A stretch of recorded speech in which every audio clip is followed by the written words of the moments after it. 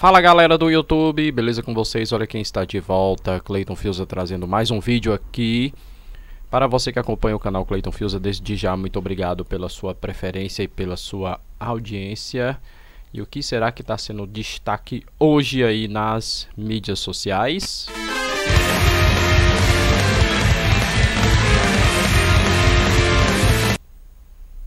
Galera, o goleiro Everton do Palmeiras, né? Ele que junto com seu time conquistou aí o tricampeonato da Libertadores.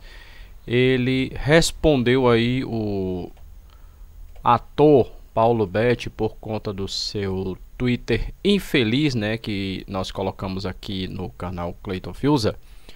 E também foi compartilhado aí o, um trecho do vídeo com o canal Com TV. Obrigado aí o Contente pela menção ele respondeu aqui da seguinte forma, vou ler aqui para vocês.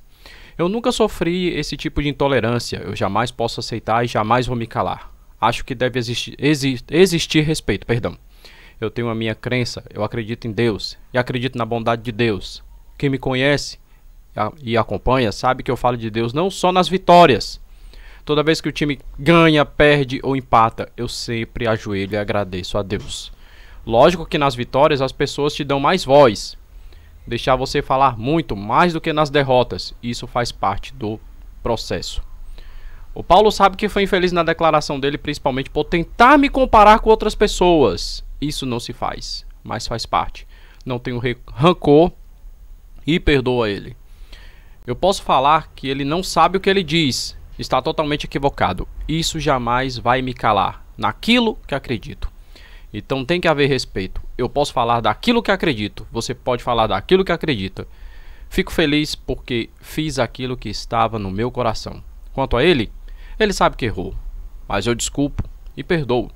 Sem problema nenhum. Tá aí a resposta do goleiro Everton do Palmeiras, né? Ele que de, durante a partida, né, na entrevista, fez ali o agradecimento a Deus e até mesmo contente com TV. Eu vou ter que discordar de uma declaração que você fez. Eu, aliás, o próprio Everton aí já explicou, né?